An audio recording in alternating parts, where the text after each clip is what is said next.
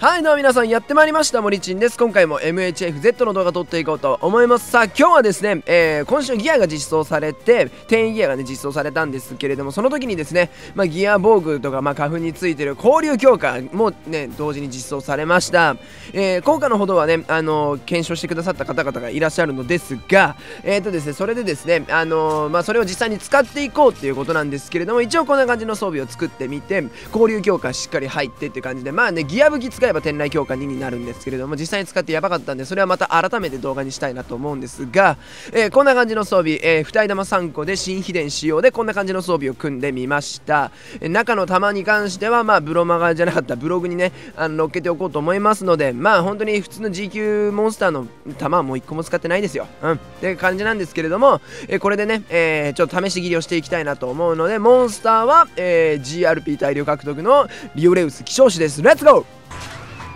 まずですね、えー、こんな感じのキラキラエフェクトがまずつきますね。あのー、攻撃を回避した時にですね、えー、このなんか歯のところにねこう黄色いキラキラが出てると思うんですけどもこれが出てる時にあのー、回避するとまあ、だから攻撃すると消費が無効になるらしい、まあ、交流強化ね、あのー、効果としては、まあ、切れ味の消費無効回数ってのが設けられるらしいんですけれども、まあ、武器種によってね違うらしいんですけど片手剣は2回らしいです。とりあえず真空2回ね。そうこれでまたつきますんで真空を2回でこれで切れちゃうんだけれどもこれでねあのもう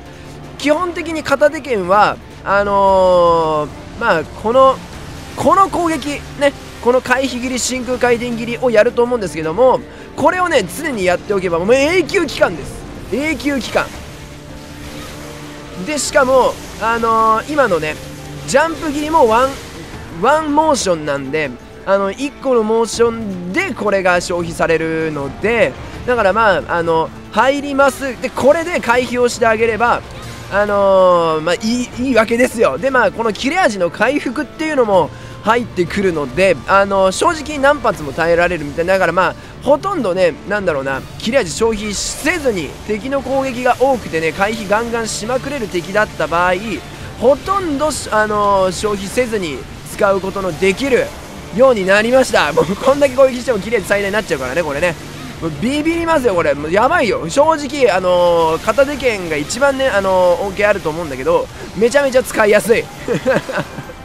めちゃめちゃいいスキルになったんじゃないかなというふうに思っております僕は。うん。あのー、この装備ね満足してます。とても満足しております。あのギアの胸ね新しく来たやつだとギアの胸とまあ課金のねやつだとその PC カフ使ってるだけなんであのー、まあかなり作りやすいかなとも思いますので片手の新秘伝持ってる方なんかはぜひ作ってみるといいんじゃないかなと思います。ということでねどうだったでしょうか交流強化。あのねキラキラ出てる時に2回片手剣は2回、えー、それ以外に関してはえっと調べてねあのー、実際見ていただければなと思うんですけれども本当に検証ねしてくださってありがとうございます。いや僕もね交流強化すごく楽しみにしてたんですけども微妙って言ってるる方もねいるんですけれども片手剣はかなり、えー、使い勝手いいものになってるんじゃないかなっていうふうに思います。やっぱ一番火力出る回避切りからの真空回転切りのあのコンボがほとんどもうそのね消費しないっていうのがてかまああれだけあれだけやってれば消費しないんで回避も入れられればね。あれやりながら回避も入れられたら消費しないのでそれに関してはもう本当にめちゃめちゃ